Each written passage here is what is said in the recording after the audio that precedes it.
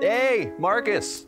Guess who just got CenturyLink? Jealous much? No, I have Cox, so it's the fastest internet. Uh, actually, Marcus, CenturyLink has the fastest internet. What? Uh, it's the Flarflast impernant. I mean, the flabbest. What'd you just call me? Only Cox could say they have the fastest Uh, internet. it's the Furder Merperder. Whatever. Discover all the things only Cox can say.